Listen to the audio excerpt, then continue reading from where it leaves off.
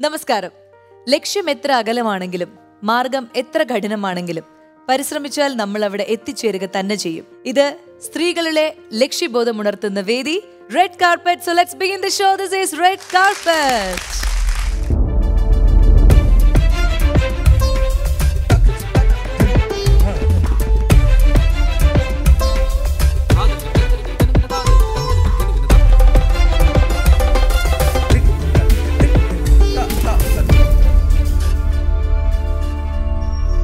red കാർപ്പറ്റിൽ ഇന്നും നമ്മുടെ കൂടെ മാല പാർവതി ചേച്ചി ഇവിടെ എത്തിയിട്ടുണ്ട്. അപ്പോൾ ഒരിക്കൽ കൂടി ചേച്ചിയെ സ്വാഗതം ചെയ്യുന്നു. Let's welcome Mala Parvathi.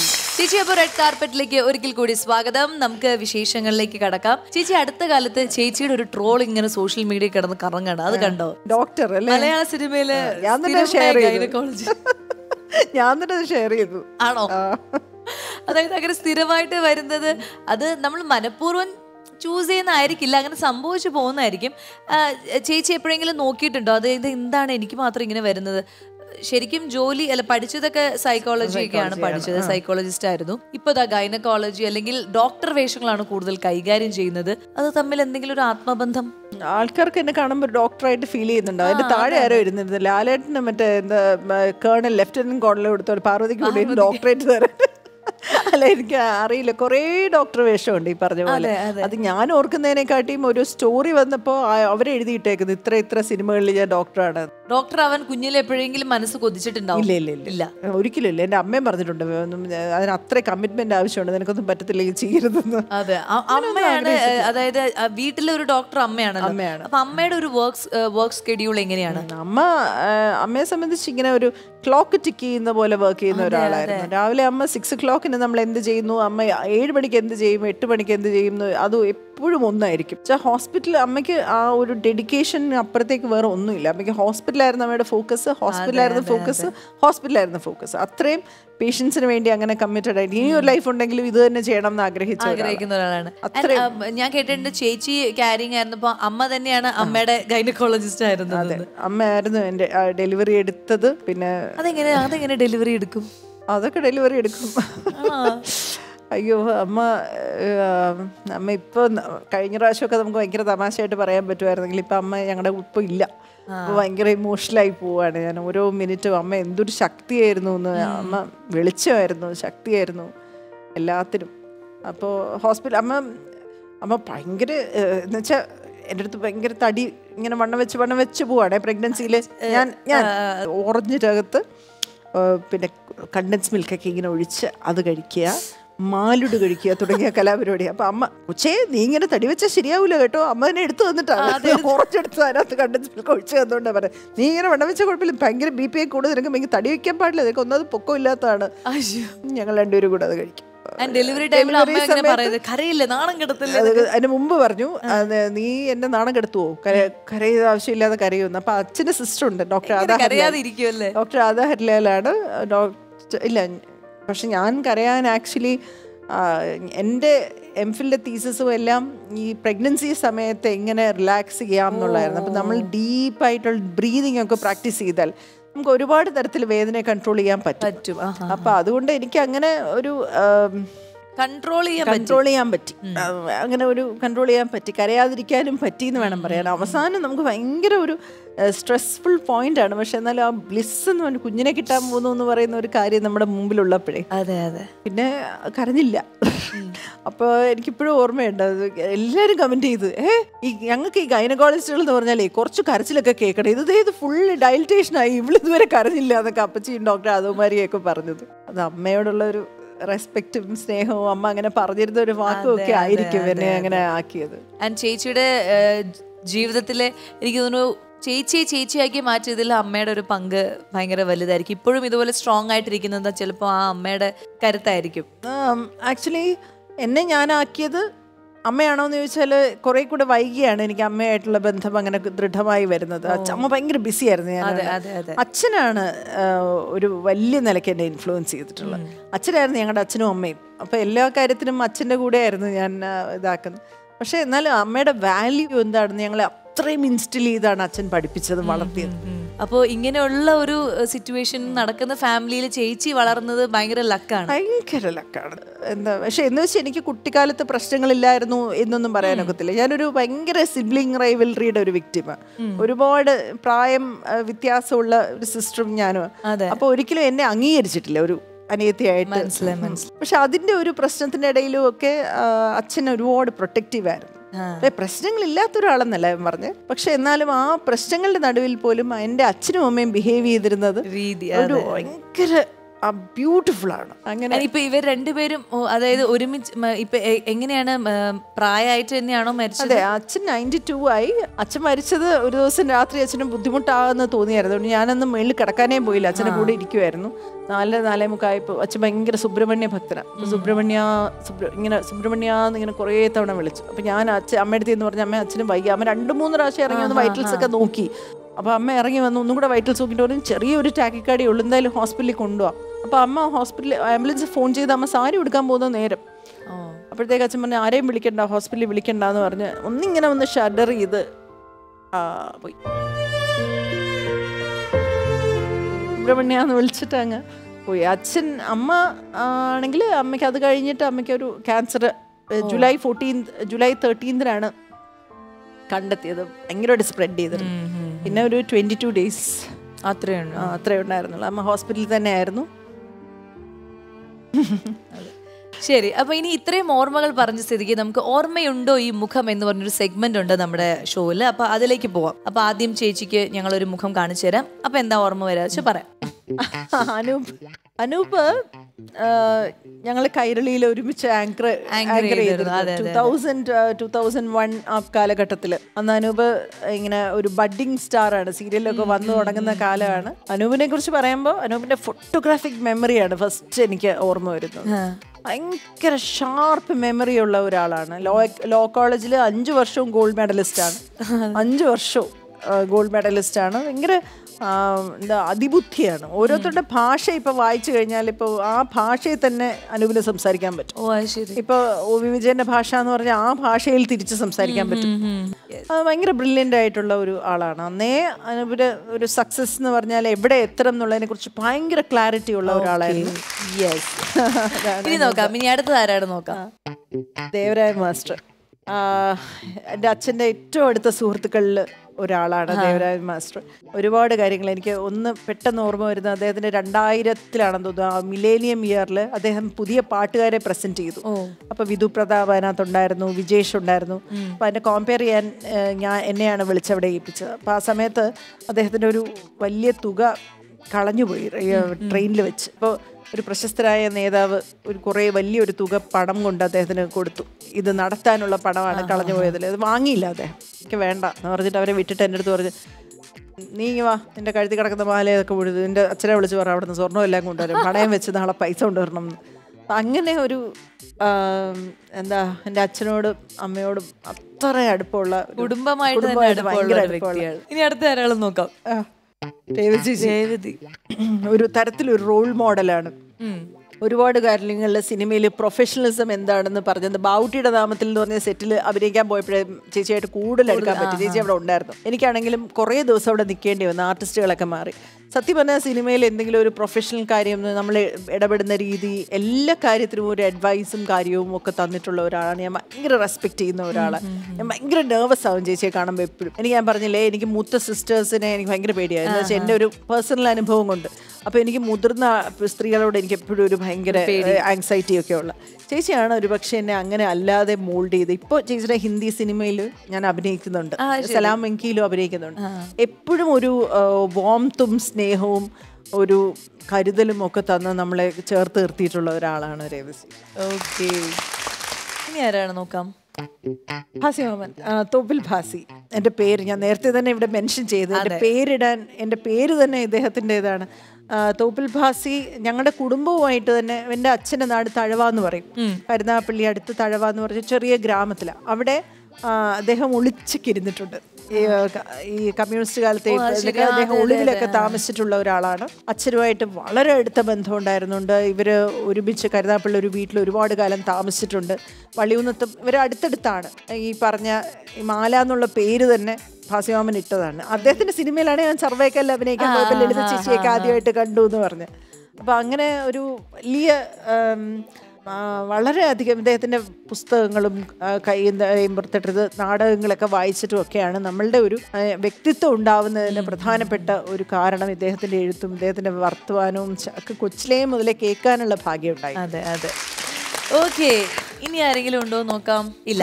അപ്പൊ അങ്ങനെ റെഡ് കാർപ്പറ്റിന്റെ ഓർമ്മയുണ്ടോ ഈ മുഖം എന്ന് പറയുന്ന സെഗ്മെന്റ് നമ്മളിവിടെ അവസാനിപ്പിക്കുകയാണ്. കുറേ നല്ല ഓർമ്മകൾ ചേച്ചി പറഞ്ഞു. അതും ഇങ്ങനെ പറഞ്ഞുകൊണ്ടിരിക്കുമ്പോൾ നല്ല രസമുണ്ട് കേട്ടോണ്ടിരിക്കുക പക്ഷെ നമ്മുടെ ഇങ്ങനെ സമയം പ്രാധാന്യമായതുകൊണ്ട് നമ്മളിവിടെ നിർത്തി. ഇനി നമുക്ക് പെർഫോമറെ വിളിക്കാനുള്ള സമയമാണ്. ഇന്ന് ചേച്ചിയുടെ മുന്നിൽ പെർഫോം ചെയ്യാനായിട്ട് ഒരു ഒരു ഡാൻസറാണ് വരുന്നത്. ഒരു സെമി ക്ലാസിക്കൽ പെർഫോമൻസുമായിട്ടാണ് ആ മിടുക്കി വരുന്നത്. ഒമ്പതിലാണ് പഠിക്കുന്നത്. അപ്പൊ എന്തായാലും വന്നിട്ട് നമുക്ക് കൂടുതൽ വിശേഷങ്ങൾ ചോദിക്കാം. ഓക്കെ സോ റെഡ് കാർപ്പറ്റിന്റെ വേദിയിലേക്ക് സ്വാഗതം. വൈഷ്ണവി.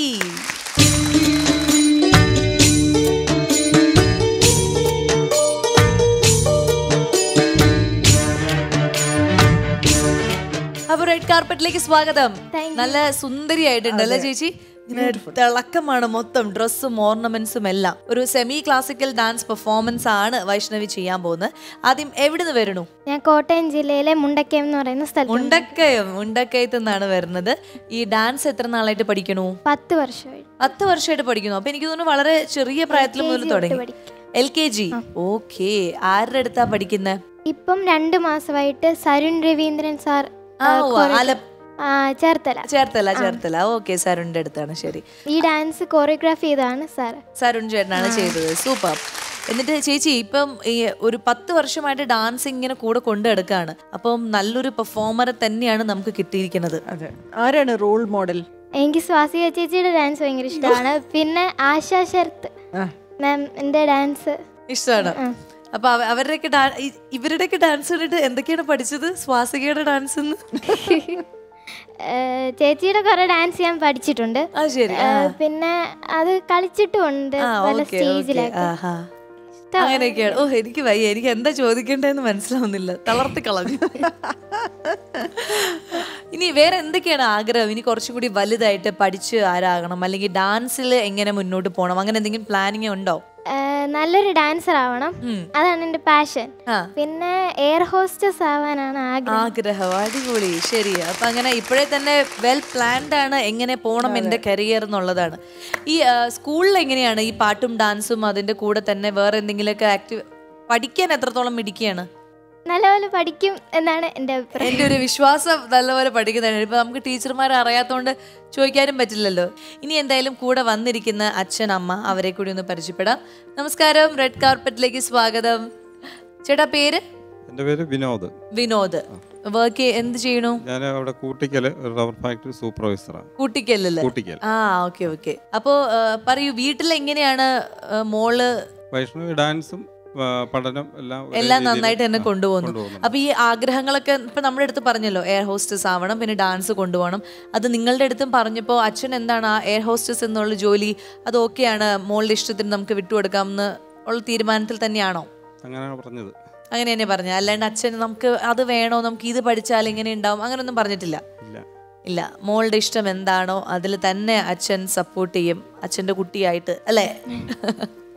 ഇനി ആ, ഇത് അനിയൻ. അനിയന്റെ പേര് പറയൂ. വേദവ്യാസ്.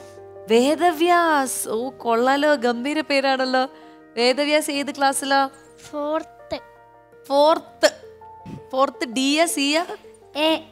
ഏ ഓക്കെ. ഈ രാമായണമൊക്കെ വായിച്ചിട്ടുണ്ടോ വേദവ്യാസൻ? ആ. എവിടേക്കോ. സത്യാണോ അത് നോണയാണോ? രാമായണം കണ്ടിട്ടുണ്ടോ. ശരി എന്തായാലും വേദവ്യാസൻ എന്നുള്ള പേര് കലക്കി. അപ്പൊ വേദവ്യാസന് വേറെ എന്തൊക്കെയാണ്? ഇനി സ്പോർട്സ് ആണോ? അതോ വേറെ എന്തെങ്കിലും ആക്ടിവിറ്റീസ് ഉണ്ടോ സ്കൂളിൽ എന്താ ഉള്ളേ? സ്കേറ്റിംഗ് ആ അടിപൊളി അടിപൊളി. അതൊരു വെറൈറ്റിയാണ് ഇപ്പോഴത്തെ ചെക്കന്മാർക്കൊക്കെ സ്കേറ്റിംഗ് ഭയങ്കര ക്രേസ് ആണ്. ശരി അപ്പൊ വേദവ്യാസൻ അടുത്ത പ്രാവശ്യം നമുക്ക് കാണാട്ടോ ഓക്കെ ഇനി ചേച്ചിയുടെ പേര് പറയൂ. എന്റെ പേര് ആശാ വിനോദ്. ആശാ വിനോദ്. ആശാ വിനോദ്. ചേച്ചി വർക്ക് ചെയ്യാണോ ഹൗസ് വൈഫ് ആണോ? ഹൗസ് വൈഫ് ആണ് അപ്പം എങ്ങനെയാണ് അതായത് പ്രാക്ടീസിങ്ങിന്റെ കാര്യത്തിലൊക്കെ എങ്ങനെയാണ് വൈഷ്ണവി? വൈഷ്ണവി നല്ലപോലെ പ്രാക്ടീസ് ചെയ്യും എല്ലാ ദിവസവും. മോൾക്ക് ഇങ്ങനെ ഒരു ഡാൻസ് പഠിക്കണം. നിങ്ങൾക്കും ഈ എൽ കെ ജിയിൽ തന്നെ കൊണ്ട് ചേർത്തും കാരണം നിങ്ങൾക്കും അതൊരു ആഗ്രഹം ഉണ്ടായിരുന്നു അല്ലേ? ഉണ്ടായിരുന്നു. ഒരു കലാകാരി ആവണം എന്ന്. നിങ്ങളിൽ ആർക്കായിരുന്നു ആദ്യം ഒരു ആഗ്രഹം? എൽ കെ ജി കൊണ്ട് ചേർക്കണം എന്ന് അച്ഛനായിരുന്നോ ചേച്ചി അമ്മയ്ക്കായിരുന്നോ? എനിക്കായിരുന്നു ആഗ്രഹം. അമ്മയ്ക്കായിരുന്നു ആഗ്രഹം. അമ്മയുടെ ഉള്ളിൽ എനിക്ക് തോന്നുന്നു പണ്ട് ഒരു കലാകാരി ആഗ്രഹം ഉണ്ടായിരുന്നു. നടന്നില്ല. അതെ. അത് വേണ്ടി. അതെ. അതെന്തായാലും വൈഷ്ണവിയിലൂടെ ഇങ്ങനെ നമുക്ക് നിറവേറ്റാൻ സാധിക്കും. എന്നിട്ട് കുറെ കഴിയുമ്പോൾ വൈഷ്ണവി അമ്മയെ പഠിപ്പിക്കും. ഒരു രണ്ട് മൂന്ന് സ്റ്റെപ്പൊക്കെ പഠിപ്പിച്ച് നിങ്ങൾ ഒരുമിച്ച് ഒരു ഡാൻസ് ഒക്കെ ചെയ്യാം. അല്ലേ? നേരെ ഇവിടെ വന്നാൽ മതി. റെഡ് കാർപ്പറ്റിൽ അമ്മയും മകൾക്കും കളിക്കാനുള്ള ഒരു സൗകര്യം നമ്മൾ ഉണ്ടാക്കി തരുന്നതായിരിക്കും ഓക്കെ അല്ലേ? Ready yes. ചേച്ചി അത് നല്ലൊരു ഐഡിയ അല്ലേ? നല്ലൊരു ഐഡിയ കാരണം അമ്മയും മകളുമായിട്ട് ഒരുപാട് പെർഫോമൻസുകൾ ഈ വേദിയിൽ വന്നു. അപ്പൊ ഇനി ഇവരും അങ്ങനെ വരട്ടെ. അമ്മയെ പഠിപ്പിച്ചിട്ടുണ്ടോ ഒരു സ്റ്റെപ്പെങ്കിലും അമ്മ അമ്മയ്ക്ക് അറിയ എന്നെ പോലും അമ്മ പറഞ്ഞു തരും. ഞാൻ ശരി. അപ്പൊ ഇന്ന് തന്നെ നമുക്ക് പരീക്ഷിച്ചാലോ? എനിക്ക് തോന്നുന്നു ഇന്ന് വീട്ടിൽ പോയിട്ട് തന്നെ ഇവർ പഠനം തുടങ്ങും. അതെ. പഠനം തുടങ്ങിയിട്ട് എനിക്ക് ഒരു ഒരു- ഒരു ഇരുപത് ഇരു- ഇരുപത്തഞ്ച് എപ്പിസോഡ് കഴിയുമ്പോഴേക്കും ഒരു കോൾ വരും. വരും. ഞാൻ പഠിച്ചു കഴിഞ്ഞു എന്ന് പറഞ്ഞ് ആശ ചേച്ചിയുടെ ഒരു കോൾ വരുന്നെന്ന് എനിക്കൊരു പ്രതീക്ഷയുണ്ട്. യെസ് നമ്മൾ അതിന് കാത്തിരിക്കുകയാണ്. ഓക്കെ അപ്പൊ ഇനി നമുക്ക് പെർഫോമൻസിലേക്ക് പോവാം. എല്ലാം സെറ്റ് അല്ലേ? സെറ്റ് യെസ് അപ്പോൾ all the very best thank you പ്രപഞ്ചത്തിന്റെ സർവചലനങ്ങളും ഭഗവാൻ പരമേശ്വരന്റെ നടനമാണ്. സ്വച്ഛമായി ഒഴുകുന്ന നദികളും കുളിർ തെന്നലുമെല്ലാം ഭഗവാന്റെ ആനന്ദ നടനത്തെ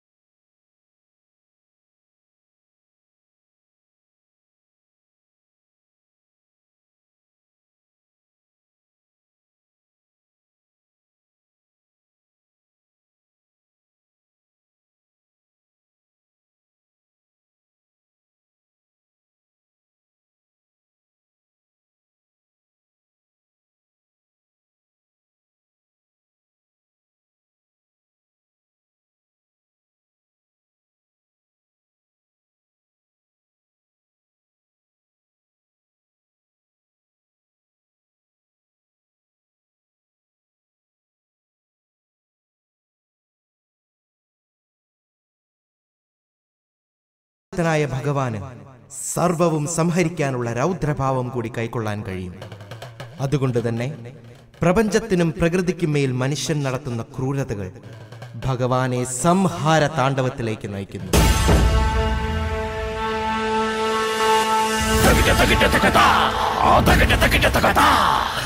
തകിട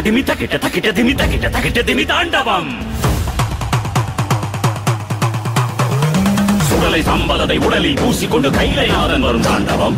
ஜனனம் தாண்டி வந்து மரணம் ஏந்தி வந்து இறைவன் ஆடி வரும் தாண்டவம். இரவு நடுங்கிவிட பகலும் ஒடுங்கிவிட சுழன்று சுழன்று வரும் தாண்டவம். இறுகி இறுகி ஒரு இரும்பை போல மனம் திருகி தேடி வரும் தாண்டவம். ஊழி காத்தடிக்க ஆழி கூத்தடிக்க அகிலம் நடுங்கிவிடும் தாண்டவம். பாவம் செய்தவனை கோபம் கொண்டு ஒரு சாபம் தீர்க்க வரும் தாண்டவம். தர்மம் காக்கும் நடனம். இது நியாயம் வெல்லும் தருணம் ரத்தம் பருகும் நடனம். இதன் முற்றுப்புள்ளி மரணம்.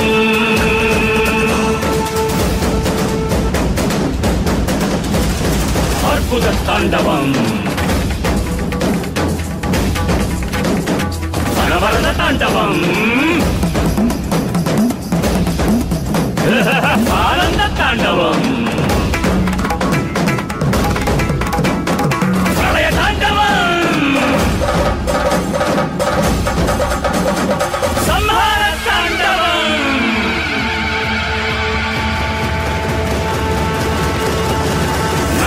காப்பதற்கு தீமை கொள்வதற்கு சிவனின் கோபம் இந்த தாண்டவம்.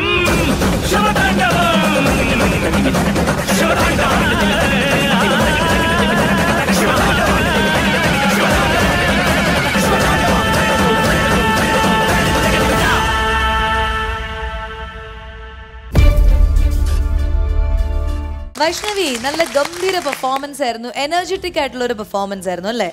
ഈ ഒരു ഡാൻസിൽ തന്നെ പല ഭാവങ്ങൾ ഇങ്ങനെ മിന്നി പറഞ്ഞു പാർവതി ചേച്ചി എന്താ പറയാനുള്ള?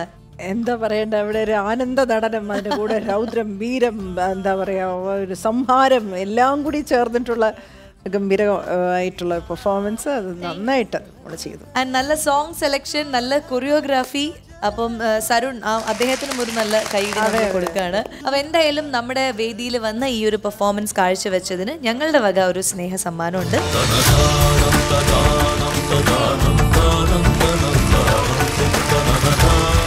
അപ്പോൾ എന്തായാലും ഈ ഒരു പെർഫോമൻസ് കണ്ടിട്ട് നമ്മളെല്ലാവരും ഹാപ്പി ആയിട്ട് ഇന്ന് പിരിയാൻ പോവാണ്. അപ്പോൾ നമ്മുടെ പ്രേക്ഷകരോട് ഒരു ടാറ്റ പറയാം. Okay take care and bye bye this is red costume courtesy for Swasika Ladies Planet Perinthalmanna and Palakkad jewel courtesy for Swasika Ladies Planet റെൻഡൽ jewellery